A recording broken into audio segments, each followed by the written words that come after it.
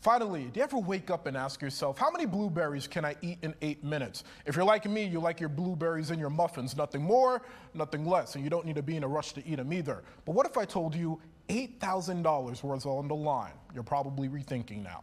Major League Eating is in town for the first ever Great American Blueberry Challenge. It took place between matches at the Major League Pickleball midseason tournament. The challenge featured four competitive eaters ranked in the top 10.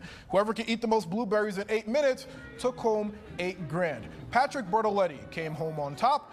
18 and a half pounds of blueberries he ate. 18 and a half. Bertoletti taking home the crown after winning the Nathan's Hot Dog Eating Contest a little over a week ago. Feels great.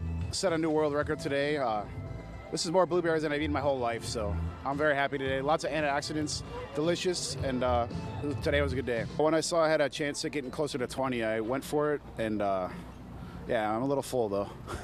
Surprisingly, he did not puke during that interview. That'll do it for sports. We'll be right back.